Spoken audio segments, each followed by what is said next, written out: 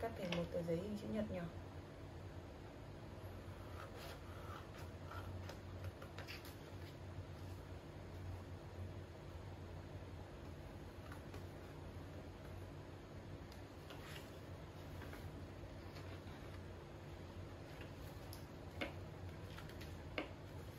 Sau đó mình sẽ gập đôi lại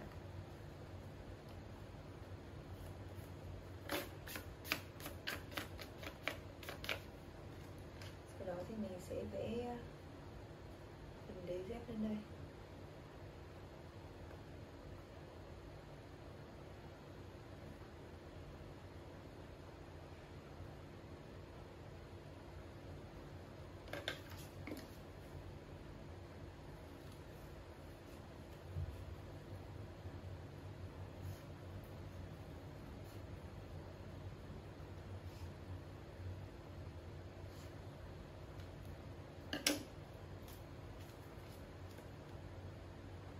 theo thì mình sẽ cắt phần quai dép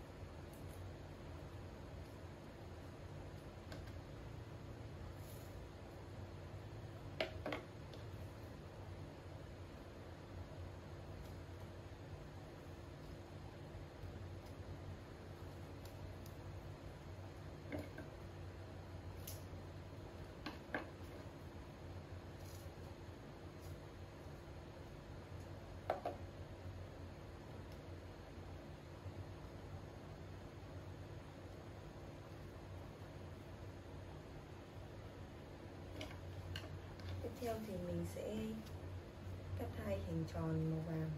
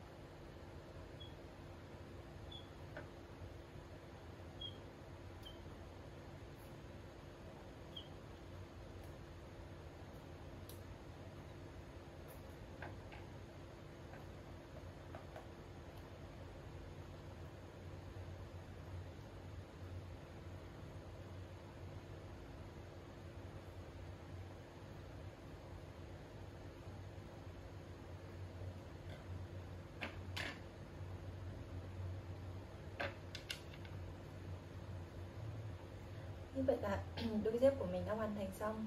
Nếu như mọi người cảm thấy video này hay và có ích Hãy để lại cho mình một like, share và đăng ký kênh nhé. Hẹn gặp lại mọi người ở những video tiếp theo.